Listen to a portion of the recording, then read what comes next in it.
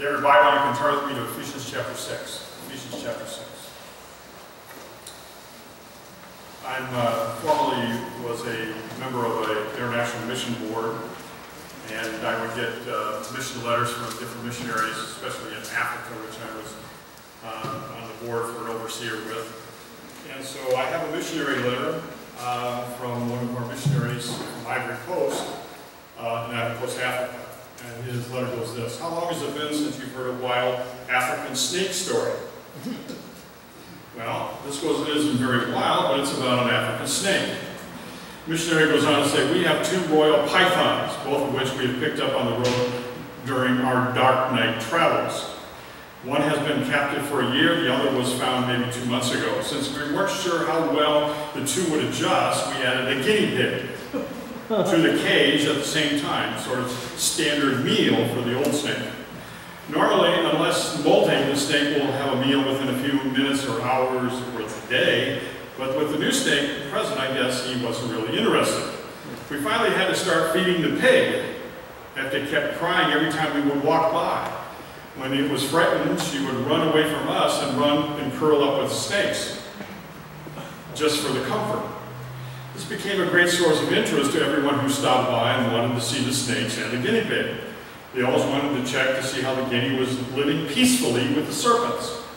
Then one morning, after about eight weeks, I heard Penny, as we called him, cry out, and a little later I went in to give him some lettuce, and I discovered that was her last cry, as she had already been suffocated and half swallowed by the snake. We have no idea why the snake decided that was the day, but when it did, there was no warning for the trusting little snake. Well, I know some of you are squirming by now, Great for the missionary learner. Uh, but this is the way life is. The analogy here seems very strong. You catch the analogy? Here we have the snake, the ultimate symbol of sin and Satan, and the guinea pig actually running to the snake for protection in pure innocence and extraordinary ignorance. How comforting and safe it seemed. It was more afraid of the people that were feeding it than it was of the companion until one day it was literally consumed. The Bible makes clear that the tactics of the devil fall into two major divisions. We're looking at the back of your bulletin also if you want to follow along. Also, you need the scriptures that uh, you looked at already. He attacks the human race both directly and indirectly. He is capable of direct confrontation with human beings and also in an indirect way. And through these two avenues, he maintains his worldwide control over the race of men. Ephesians chapter 6, verse 12. Ephesians chapter 6, verse 12. The Bible indicates that there are fallen hosts of angels called demons, whom Paul then will call in this verse here, principalities, powers, world rulers of this present darkness, spiritual hosts of wickedness in heavenly places. Now, just to understand, heavenly places here does not mean far away. Heavenly places basically means the realm of the invisible the invisible realities of life. The devil and his hosts are not visible. That is what he is saying. The devil's activity is in the realm of the invisible reality of what life is. The heavenly places where God works is also where Satan works. In the Bible, we are told very little of the origin of the devil and his, uh, and his angels.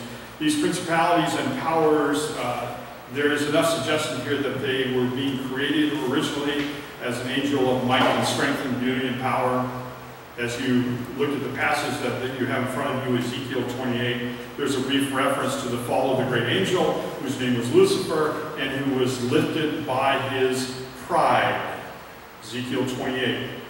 Pride is always the mark of the devil. Pride is always the mark of the devil.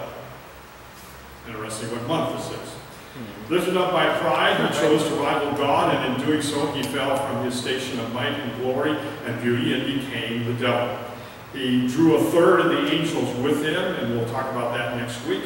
And these constitute the principalities and powers, the organized kingdom of darkness, as opposed to the kingdom of God. It is through these hosts of wicked spirits that Satan is able to make a direct assault upon our lives. This direct assault covers what the Bible says One is the aspect of demon possession. In other words, the outright taking over of a human personality by the power of a wicked. It also extends to such activities as soothsaying, occultism, spiritism or spiritualism, uh, related black magic arts, astrology, horoscopes, Buddhism, fortune telling. And let's be very careful here. There's a word of warning here. There's no question about what there is some chicanery and deception that is a part of this whole field of what we quote unquote call black magic. There are charlatans at work who make their living off of superstitious fears of people and who engage in deceptive tricks which give the assumption that they are genuinely sort of dealing with the occult. The Bible consistently warns against dabbling in these matters. Under the law of the Bible in Israel, they were strictly forbidden of participating in any way with wizards. It's interesting, the words for wizards was peep and mutter. Those who try to make contact with the dead by peep and mutter, and, or those who deal with the world of the occult.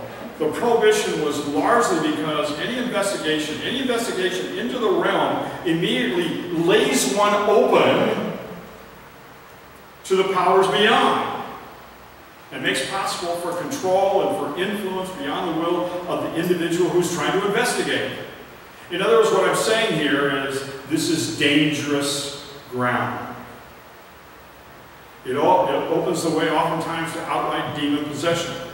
As to the subject of demon possession, I'm very well aware that there are many people who raise their eyebrows incredulously when we talk about that subject, and they say, surely you don't believe in that kind of stuff anymore.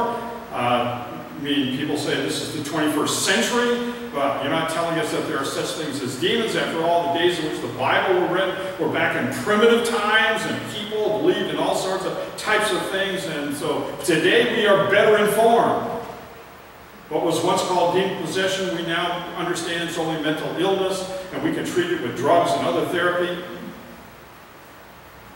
And you reply to that kind of person who says that to you? Well, they're written on the back of your bulletin. First of all, the Bible itself is careful to distinguish between mental illness and demon possession. Understand that. The Bible is not a primitive book as written by people some, that some imagine. But the Bible is a very distinct in putting down as to what these two things are. The writers of Scripture were certainly aware of the distinction. One of them, Luke, was a physician in himself and was certainly acquainted with the distinction between disease, mental illness, and demon possession. In Matthew chapter 4, a careful distinction is made between those who were afflicted by disease, Matthew 4, 24, those who are demon possessed, those who were diseased, and those who were lunatic or mentally ill. All of those statements are made there in Matthew. Dr. Luke even refers to the same thing back in his book, Luke chapter 4. A second thing is, it's important to notice that the biblical case of demon possession do not conform to the clinical pattern of any known mental disease. Understand that. That the biblical case for demon possession does not conform to any clinical pattern of any known mental disease. There are diseases of the body, there are diseases of the mind. Diseases of the mind, like those of the body, present themselves clinically with patterns that you can recognize. But when you examine carefully the biblical accounts of demon possession, you find these do not fit into the standard pattern of what we would call mental disease. They are not the same thing. They do not conform. In the pattern, there is always a debasing element in biblical cases of demon possession. There's an uncleanness. There's a moral debasement. In the biblical accounts of demon possession, there was an immediate recognition by the demon within the character of the person to identify Jesus. In other words, the demon's inside this person, and the demon speaks about Jesus. When Christ approached these demons, uh, in the biblical account that he says this, that when Christ approached these demons, many times they would call out and say, What do we have to do with you, Son of God? In other words, they call him by a name, they call him by a title, which the victim, the person that's possessed, would have never understood or never even known that Jesus was who that is. There is so often this immediate, strange recognition of the authority of Jesus. The pattern also is that the presence of a totally distinct, different personality involved. In some cases, many personalities were involved. Jesus dealt with one, maybe the, in Luke chapter 8, the story of the guy who said, I am legion, meaning that there were many demons within him. There is the ability on the part of Christ to transfer demons from individuals to animals. How do we explain that if that's just a mental disease? How do you explain the case of the Gadarene swine in Luke chapter 8? If a demon possession is merely mental illness, how do you put the mental illness into a bunch of pigs? If it's only a hallucination, if it's only some kind of schizophrenia, then how do you explain the demons leaving the man, going into the pigs, and then running into the ocean or the sea and drowning? These cases simply do not conform to any kind of clinical pattern of any kind of mental disease. A third factor, back your bulletin, is that Jesus himself invariably described these cases as demon possession. This is what he said they were. And he treated them that way. He dealt with this kind of thing continuously. He sent out his disciples. Remember what he said to his disciples when they went out? I give you authority of casting out demons. Someone says, well, we have an explanation for that. It's simply a recognition that Jesus was accommodating himself to the people of his day. In other words, they were believing this kind of stuff, and so Jesus sort of adapted his teaching to sort of recognize this stuff himself. They believed in demons and devils, and he is simply speaking their language. But it's impossible to take that kind of perspective consistent with the rest of the account of Christ's ministry, for we see him constantly correcting misconceptions. Remember what he said to his disciples? He said, If it were not so, I would have told you. He was always there to miss or to correct misconceptions that were taking place. Number four, as the last suggestion along this line, throughout the Christian centuries, there have been various outbreaks of demon possession that have been described by missionaries. I took a class in seminary in demonology by my professor. My professor was not very strong about wanting to feel that demons were real until he went to Africa as a missionary representative. there, he was in a meeting, and people were cast, they were casting out demons. It was interesting. It was the elders that were over on the side casting out demons. He said, I didn't believe any of this until I saw a guy float from the middle of the aisle out to the center. Then I began to start believing in this demon thing. It is significant, I think, that whenever Christians' teaching spreads, whenever Christianity spreads, the direct assault against evil powers begins to be shown. And as our world grows more and more godless and more and more secular, we, have, we will find an increasing tide of demonic manifestation creeping into our culture and insinuating itself into our civilized life. There's no power in man to withhold this. There's no power within us to stand against this. It is only because of God. Yet there is altogether, at the same time, too much concern among Christians about this matter of being possession that sounds, sounds like I'm almost contradicting myself here. But I am wanting to say that we need to be concerned about balancing it. Certain Christians who feel they must bind Satan before they can do anything. I really have difficulty with that, trying to find that in the New Testament. That gives absolutely no warrant for that type of approach. The apostles very seldom mention, it's interesting, the apostles very seldom mention any attack, direct attack by Satan. There are a few instances of it, but after our Lord physically left, there seems to be sort of a, a lessening of the aspect of dealing with this. Well, we need to be in prayer. Those dark powers were stirred by his presence. It's interesting when Jesus was there in that time period that we see demonic attack taking place. So that when you get to the epistles, there's much, much about Satan in the letters of, there's not much about Satan in the letters of Paul, but there is there's much about Satan, but there's little direct attack that takes place in the epistles. Whereas when you see what the, the Gospels deal, the Gospels deal with demonic oppression very much so. Number six, the majority of the attacks of the devil against Christians are not direct. They are indirect. That is why they are called the wiles the wiles of the devil. In other words, wildness, as the King James says it, means devious. It means circuitry. It means something not obvious. A direct attack of the devil upon a human life, uh, life is, obvious, is an obvious thing, but this is something devious. It's something circuitous. It is something that is not detectable, at least not easily.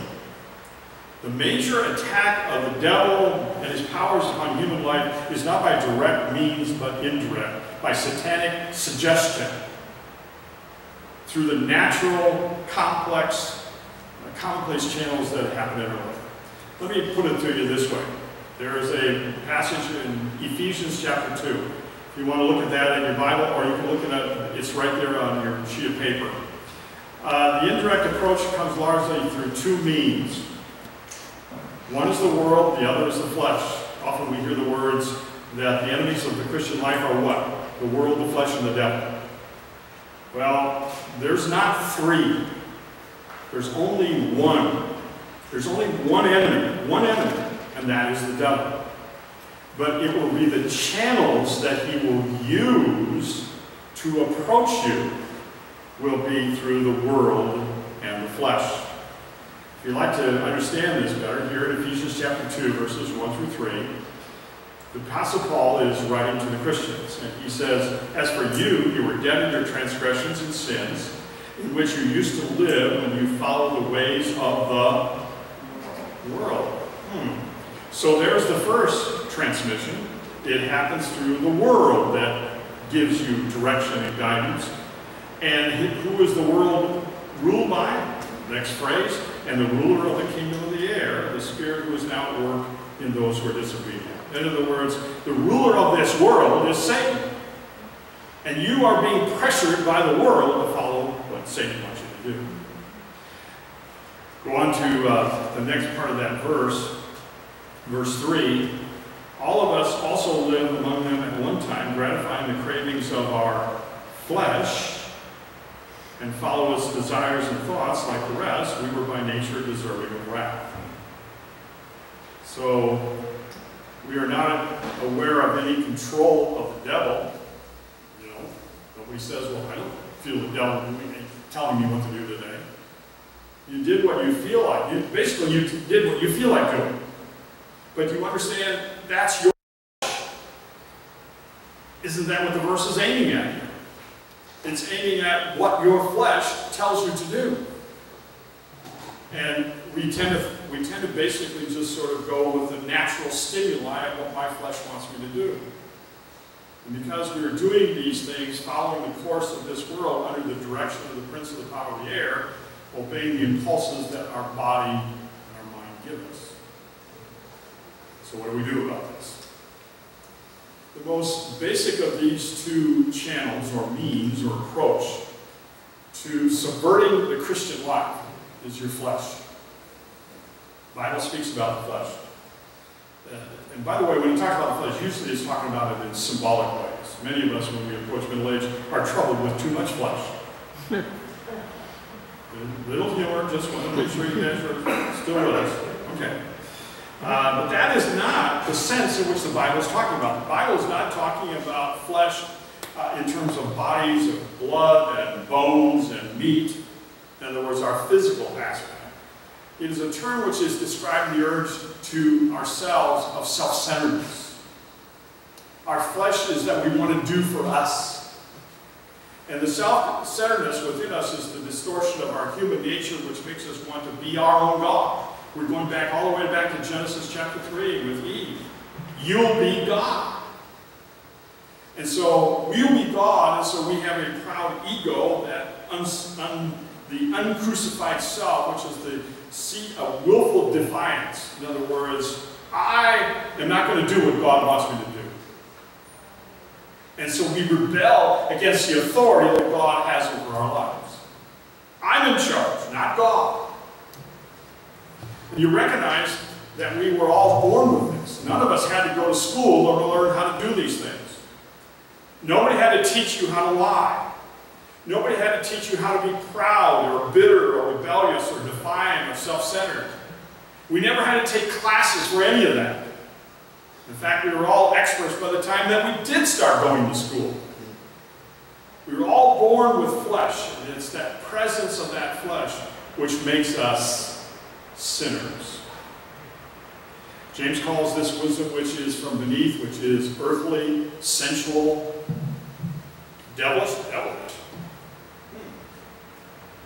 So there's the devil.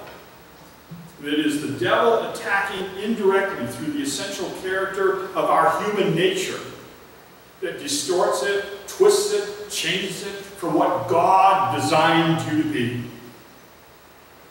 You can see the satanic origin of this in the fact that it's a distortion of the beauty which God intended man to have.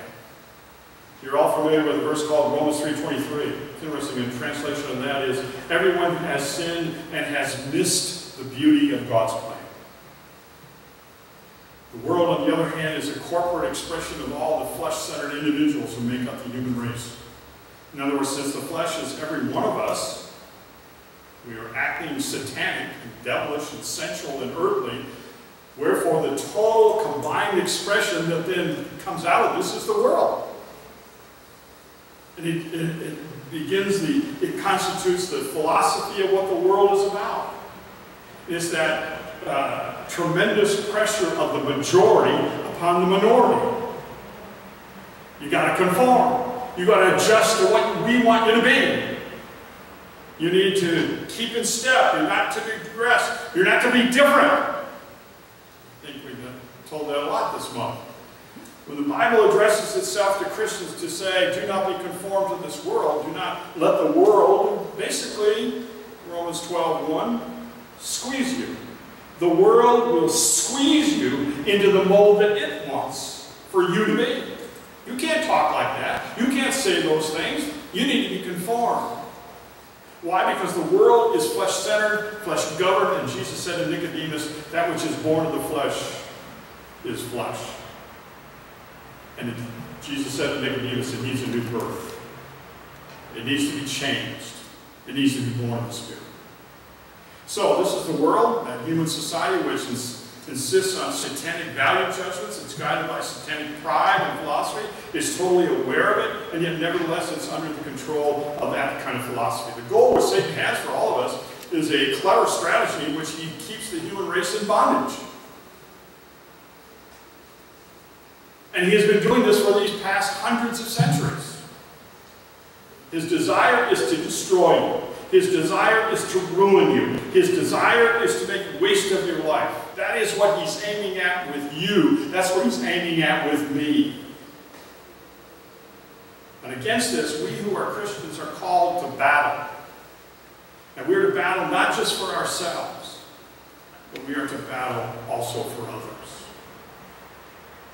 Now, in Ephesians chapter 6, verse 12, Paul says that these phrases that we mentioned, flesh and blood, rulers, authorities, powers, spiritual forces, our warfare with the devil and all of his evil angels, they are significant forces that Paul is referring to in the passage.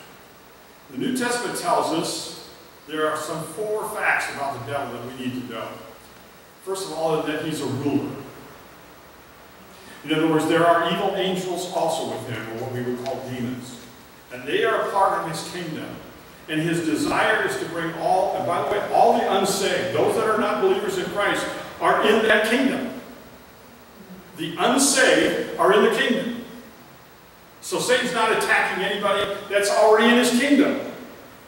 He's only attacking those that are not in the kingdom. That's us. When Paul wrote to the Ephesian believers, they were formerly dead in their sins. He was saying the same about us. We, he, we used to live in our sins when we followed the ways of the world, the ruler of the kingdom of this air, he says in Ephesians 2. We also used to follow the devil because we were all in his kingdom, under his rule. When God commissioned Paul, he, seriously, Paul was sent to the Gentiles, basically, another word to say, he was sent to the unsaved. He was sent there to go from darkness to light in other words, he was there to change them from darkness to light and to take them out of the power of Satan to the power of God. Not only does Satan hold the unsaved under his reign, but he also binds the minds of unbelievers. That's why the unbeliever has, you're kidding. What, what you talking about it? rapture. Come on, this isn't real. And you look at that, and, and that's why witnessing is so difficult. Witnessing is difficult. It's like pouring water on a duck's back. It just sort of runs off. And our speech comes like we're speaking a foreign language. The unbeliever just, it just goes right by. Can't understand what you're saying. And when we witness to someone, we are launching an attack upon Satan's kingdom. And we cannot win that attack by our own power because the person is under Satan's dominion. Jesus said we cannot enter a strong man's house and carry off his possessions until we first bind the strong man. That devil that we need to be able to have the door open. The Lord will open the door so that we can share the good news with that person. That's why we enter the battle through prayer. Third fact is that the Bible tells us that about Satan is that he wars against believers even though we have been delivered from the dominion into the kingdom of God. Peter says he prowls around like what? He prowls around like a lion, looking to someone to devour. And by the way, the, the idea of the roaring lion is the symbol is to give us an understanding that he is a ferocious. It is a ferociousness of Satan to try to consume us. And when he attacks us in order to ruin us, however, he masquerades as an angel of light. Be very careful of this, dear people. The scripture light stands for truth. The scripture light stands for moral purity. And when Paul says that Satan masquerades as an angel of light, he means that Satan tries to convince us that his false teaching is light. It's very easy in our world to be tempted to what we think is the light. It's interesting when Jesus was tempted in the wilderness, and Satan said to him, Cast yourself down, and the angels will hold you up. What Satan did is that he basically twisted the truth of the Bible. He just twisted it. In 2 Timothy tells us that Satan masquerades can be so deceptive that he actually takes believers captive. I don't think they're demon possessed, but they get captive in terms of the thought process and the diversion of their minds into false teaching or false thinking and unimportant, we, we dwell on unimportant peripheral issues and temptations and discouragement, and we doubt what the Bible says. That can't be right. We are at war with an enemy who has thousands of years of experience, all the way back from Satan attacking Eve in the garden. He is attacking God's people today. He knows his strategy. He is locked in. He desires to get us. The scripture also gives us a fourth most important fact about Satan is that he is defeated. Colossians 2 tells us that Christ has disarmed the powers and authorities and made a spectacle through the triumph of the cross. In other words, this is the reason that James says, resist the devil and he will flee from you. Do you understand that? When you resist the devil, he has to flee. Because he's already defeated. Satan has lost the war. He's now engaged in sort of, I would say, guerrilla warfare. And we can defeat him in it. We, and we need to be dealing with him on a day-to-day -day basis in a day-to-day -day struggle. We do that through the power of the Spirit. And with that, we will allow Satan win. Let me close with this. You remember a teenager named Casey Bernall. She was a 17-year-old student who died for her faith in Columbine High School back in 1999. Eric Harris and Dylan Klingel stormed the school, gunned down 12 students, one teacher, before taking their own lives. Casey was a brave young lady. She was willing to take a bullet for her faith. One of the gunmen had yelled, anybody here believe in God? With all the students lying flat on the floor, Casey stood up and said, yes, I believe in God. I belong to the Lord Jesus. The young killer then said, why?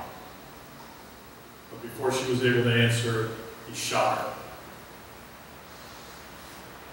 This radiant teenager died a martyr, but just a few years prior to that, she would have been very easily an accomplice with these two young men. Because when Casey was in ninth grade, her parents became very concerned about their daughter's behavior. They discovered that she was interested in witchcraft, involved in alcohol and drugs. When they searched their room, they found letters which were talking about harming people, harming students, harming parents. Her parents immediately intervened. Casey was enrolled in another school out of the grips of the friends that were giving these kind of evil influence. They regularly searched her belongings and monitored her activities from the new school. Apart from the school and going to church there in Littleton, Colorado, that was all of what her life entwined. Casey reluctantly went on a weekend retreat, a youth retreat. But that retreat changed her life. Her dad said she went away a gloomy, troubled teenager and came back transformed by the power of Jesus Christ. She discovered the joy of salvation which she carried to an early grave. Her transformation can be summarized by the words that she herself shared in a video just two days before she died. She said, You really can't live without Christ. It's like impossible to really have a really true life without Him. Just two years earlier, it would have been very easy for Casey to have joined Eric and Dylan, but Jesus changed all of that. With all the tactics of terror that Satan wants to use against us, dear people, he doesn't have to win. He doesn't have to win. May we stand firm because of the power of what Christ has given to us in his death and resurrection. Let's bow together. Our great God, we are thankful for your love for us, your care for us. And Lord, despite the aspect of an enemy that comes against us, we're thankful that our trust and our faith is in you, the power of your Holy Spirit. But Lord, may we be mindful of how Satan attacks and how he twists and turns and gives us the thinking that this is light when it really is darkness. But Lord, we ask that we would pay attention to you. May we read your word. May we understand your Holy Spirit directing and guiding us. And may in all ways be our lives, like Casey Bernall, may we glorify you. We're thankful for the power that you have given for your Holy Spirit within us. Pray this in Jesus' name.